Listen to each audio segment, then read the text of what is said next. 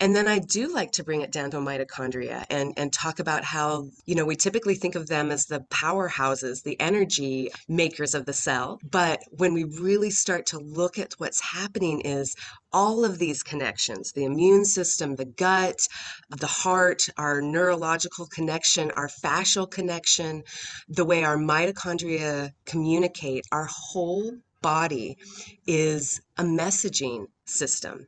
And so when we start to really understand and wrap our heads around that, then we can understand that what's coming in are messages and what our body is responding to are messages. So, messages such as processed food, artificial lighting, living out of sync with our solar system is a massive danger signal to our biology.